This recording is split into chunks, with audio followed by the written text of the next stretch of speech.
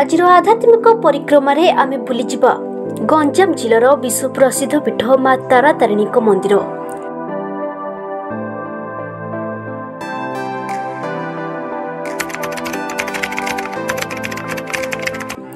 ବହି ଯାଇଥିବା ଋଷିକୁଲିଆ ନଦୀ ପାର୍ଶ୍ୱରେ ରହିଛି ମାଙ୍କ ମନ୍ଦିର।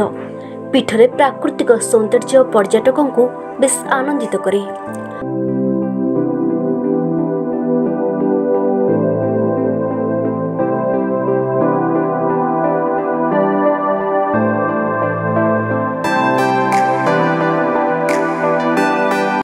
ପୀଠରେ ପ୍ରାକୃତିକ ସୌନ୍ଦର୍ଯ୍ୟ ପର୍ଯ୍ୟଟକଙ୍କୁ ବେଶ ଆନନ୍ଦିତ କରେ।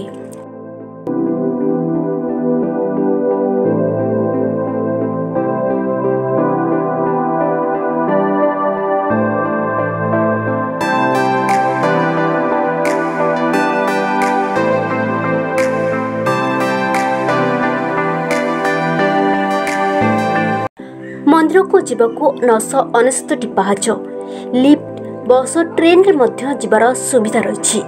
ବସ୍ଷ୍ଟାଣ୍ଡରୁ ପ୍ରାୟ ଅଣତିରିଶ କିଲୋମିଟର ଆସିଲେ ପଡ଼େ ମାଙ୍କ ମନ୍ଦିର।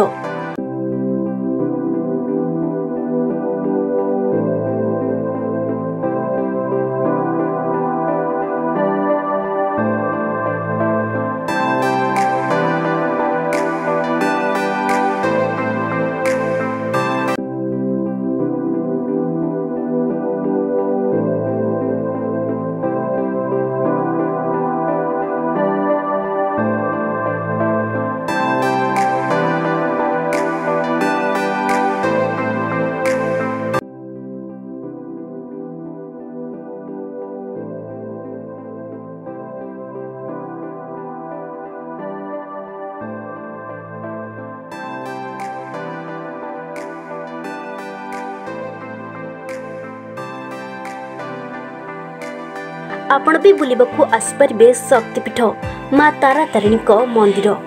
ମାଙ୍କ ଦର୍ଶନ ସାଙ୍ଗକୁ ଲିଫ୍ଟରେ ମଧ୍ୟ ଭରପୁର ଉପଭୋଗ କରିପାରିବେ। ବିଶେଷ ଉପସ୍ଥାପନା ଜେଟିଭି ଓଡ଼ିଆ।